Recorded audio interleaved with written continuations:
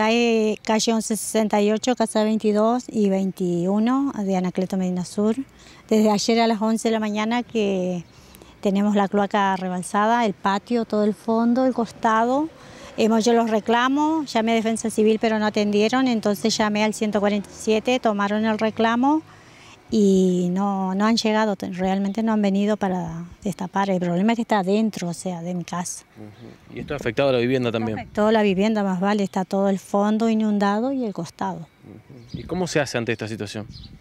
Y hay que esperar, no nos queda otra, porque el reclamo se hizo todo.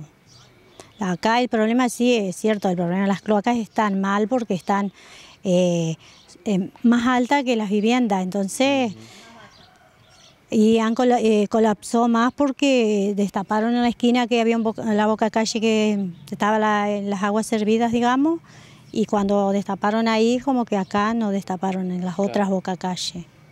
Y ahí empieza por las viviendas. ¿En las dos viviendas hay chicos también? Sí, acá hay chicos todo el tiempo, están todos los días. Sí. ¿Qué les pedirías a las autoridades?